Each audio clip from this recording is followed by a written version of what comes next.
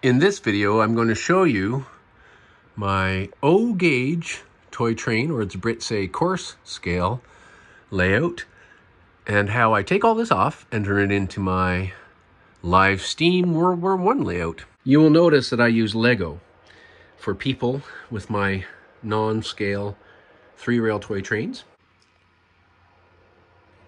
Given its toy trains and stuff, I didn't finish it to the kind of standard you would find in fine fine scale. So not like this, which is, uh, you know, my double O switching layout.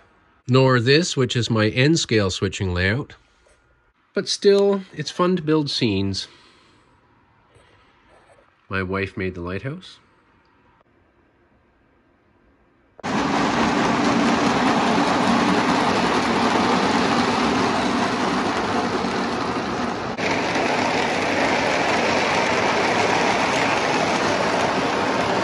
So this is a real fossil, and I'm not sure how our uh, resident paleontologist minds the noise of the trains passing by, but she seems intent on her work.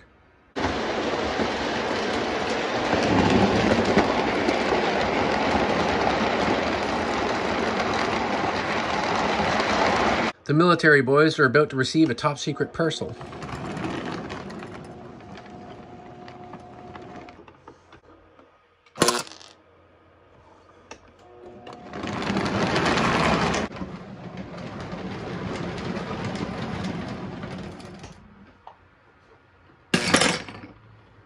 Everything on this last O-gauge train I'll run was made in either the 1940s or the 1950s.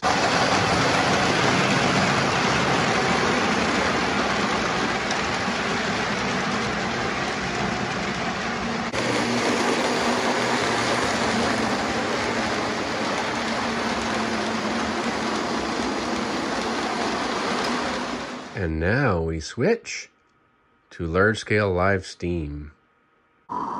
My Accucraft Sabrina will have the inaugural run of the completed layout.